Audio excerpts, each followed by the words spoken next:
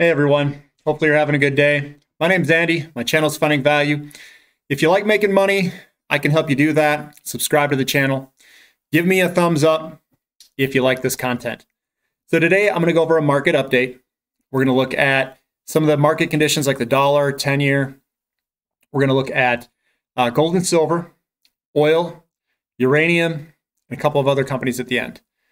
So let's jump in and look at this market update to see what I've got and see what the market's telling us. So first, we'll start with the dollar. Uh, I saw this is a day old chart. It's not updated yet, uh, but I did see that the dollar was up. So we might see a short term uh, strengthening in the dollar. That's what we're seeing. Uh, it's been strengthening a little bit since the beginning uh, of the year. Little pullback, and, I would say February, and we might see a little bit of a strengthening, but it's bouncing back and forth right now, uh, sideways. The 10 year, uh, the 10 years, you know, it's probably going to pull back here in a little bit. Uh, that's typically what these black candlesticks look like at the top here. So we might see a little bit of a pullback uh, more towards the 50 day moving average. Just looking at if you were to draw a, a trend line here, it just looks like it's going to pull back for a little bit. And we might see a little bit of a pullback with a little bit stronger dollar and the 10 year maybe pulling back a little bit. Gold, gold's right at the bottom uh, support level here, and we could break out to the downside. I mean, we could have a little breakout like this, or maybe this thing jets a little bit lower. Maybe it, it maybe it heads down a little bit. So it's one to watch. Uh, I'm curious to see what it does if the buyers step in uh, tomorrow or or aftermarket pre-market. Uh, but I'm curious to see where gold what what direction gold's going in. But it's still in the channel right now. Uh, it's barely hanging on by by a thread. So that's one to watch. Silver, see, I get a different picture here looking at silver. This looks pretty pretty bullish outside of these big randomly placed down days. But we've got a nice big pull up and then the small pullback, a little bit of a pull up and a small pullback. Like this thing's coiling up to go somewhere. I'm hoping it goes to the upside. I mean, we've got premiums on silver. Uh, I'm hearing about potentially at the end of February, a large, you know, potentially someone could be getting more deliveries of silver off the COMEX. There's a lot of contracts still open. So this is one to watch. I don't see, at least I don't see the blowout to the downside yet. So that's that's that's what I'm looking for is that blowout move. Uh, if they're going to try to try to push this thing down, even though there's no silver silver anywhere and there's high premiums. Uh, SILJ, this is the Silver Junior uh, ETF. What I see is a coiling up. It looks like this thing's kind of looking at the, I, I would say, the swings. So it swings up, swings down, and obviously, if you were to discount this day, up, down, up, down, up. It's like coiling up to go somewhere. I think it's going to break to the upside because when you look at it, it looks like you've got nice big expansion days on the upside. There are some bigger down days sprinkled out. Uh, but looking at this, we've got bullish uh, piercing, bullish piercing. We've got these nice bullish piercings. There are a couple bearish engulfings there, but we got piercing, piercing, piercing. Couple of bearish engulfings here. Just looking through, it's coiling up. It's going to go somewhere fast, very fast. Uh, GDXJ, this is the junior gold miner ETF. Again, this is looking more like gold. You could draw a line across here, and it's right at the bottom of it.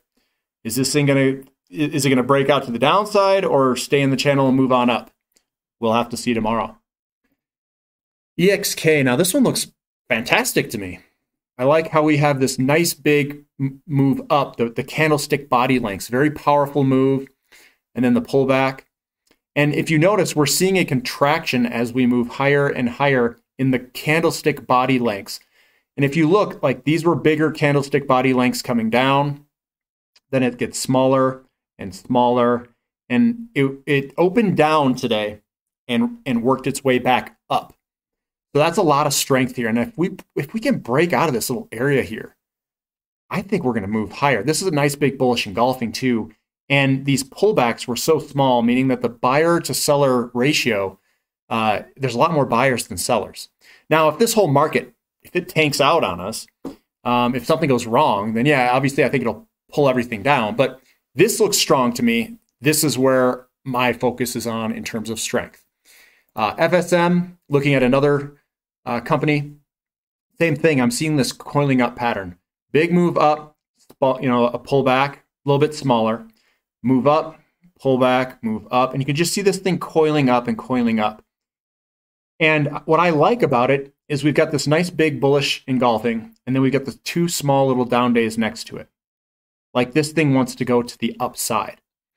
Uh, if this was going to go to the downside, I would say this thing has to be flipped over we would see a bearish engulfing with two small up days. So I'm I, this looks like it wants to go to the upside. USO, this guy's got the 50 day crossing the 200. Uh, nice, nice strong movement up.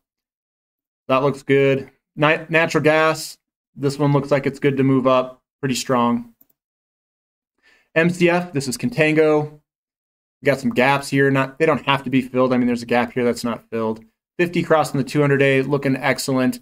Uh, would I be a buyer up here? Eh, I don't like chasing stuff. I mean, we might see a little bit of a pullback. We got this black candlestick here where it opened up, but momentum's going down. But tough, a lot of momentum here. If oil goes up, I think MCF will go up. If oil goes down, I think it'll we'll see a pullback. SM Energy, same thing. We're, we're seeing a contraction in the body. So we've got a nice big bullish engulfing. We see a a little bit smaller body on this guy than this one. And then we see a cross. We might see a little bit of a maybe a couple day pullback or, or something like that, and then a move higher eventually. Lightbridge Corporation, two big down days, bearish engulfing, bearish engulfing. I think we're going to see a little bit of a pullback, either sideways movement or, or a little bit of a pullback. Uh, URNM, it's it nice big. I mean, this is a lot of momentum. Look at the look at the volume down here we, we pulled up, we had our pullback, shot higher. Are we going to have a pullback or is this momentum going to continue? We'll have to see tomorrow what this thing does. I don't see, I mean, it broke, it did break up to the upside if you were to draw a nice little pattern through here. Um, looking at the individual companies, some of the components of URNM, uh, these are just, I just grabbed some individual companies. This is a bearish engulfing. Sideways or down movement is what I'm expecting. Uh, wick at the top, typically that's a pullback. You might see a little bit of a pullback here when you see these wicks on the tops, but sometimes it may take a day or two before it pulls back because of the momentum.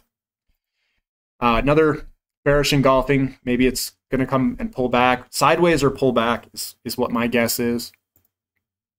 Westwater's definitely, it's pulling back. This was the earnings day.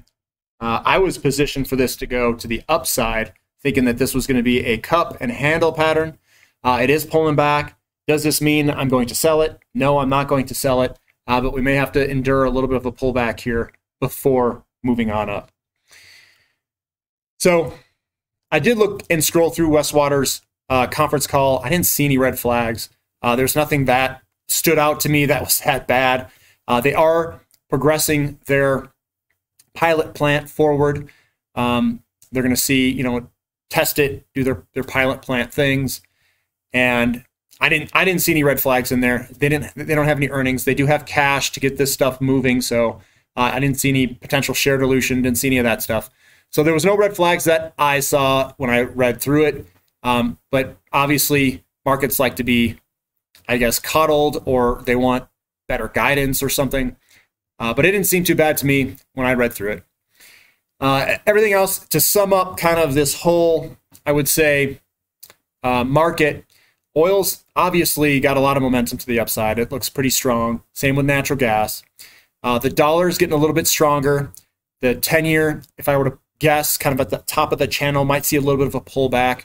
Uh, we might see uranium pull back a little bit just by looking at, at some some of the companies. Uh, I did see Paladin shoot up higher. So it's a little bit of a mixed bag, some going up, some going down. I saw NexGen was pulling back. It looked like it had a, a bearish engulfing as well.